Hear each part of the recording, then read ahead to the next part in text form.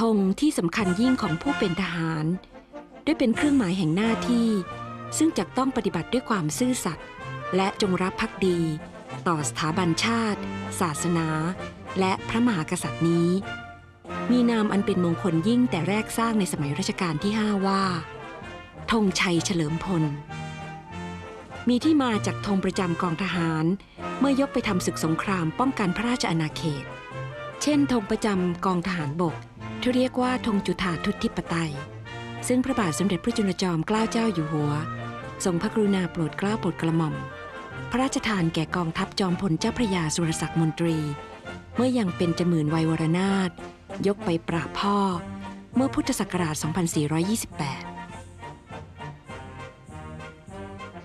ในรัชกาลต่อ ๆ มาธงชัยเฉลิมพลมีแบบเฉพาะทั้งรูปลักษณะ โอกาสที่พระราชทาน และหน่วยทหารที่ได้รับพระราชทาน ตามแต่จะทรงพระกรุณาโปรดเกล้าโปรดกระหม่อมในรัชกาลปัจจุบัน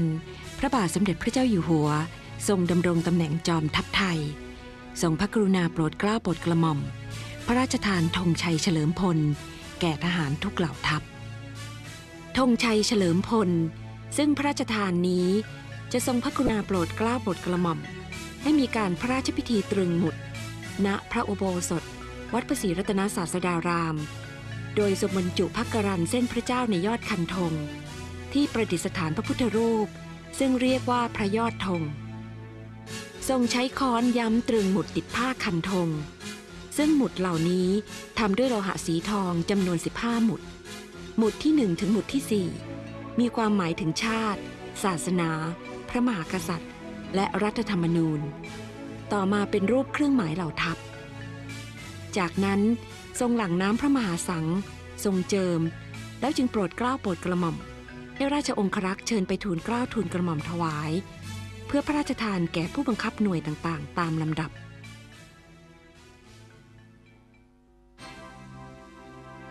หน่วยทหารที่ได้รับพระราชทานธงชัยเฉลิมพล ต้องถวายสัตย์ปฏิญาณพร้อมกัน กรมกองที่ตั้งใหม่ ไม่ได้รับพระราชทานธงชัยเฉลิมพลแล้ว จะอัญเชิญออกให้กำลังพลเข้าประจำการใหม่สวนสนามกระทำสัตย์ปฏิญาณ เรียกอย่างสามัญว่า พิธีสาบานธงนอกจากนี้ยังมีธรรมเนียมปฏิบัติของกองทหารไทย ที่ไปราชการทัพในสมรภูมิต่างๆ เช่น สมรภูมิเกาหลี สงครามเวียดนามเป็นต้น ซึ่งได้อัญเชิญธงชัยเฉลิมพล ไปประดิษฐานณที่ตั้งหน่วย จนกว่าราชการสิ้นสุดจึงอัญเชิญกลับประเทศไทย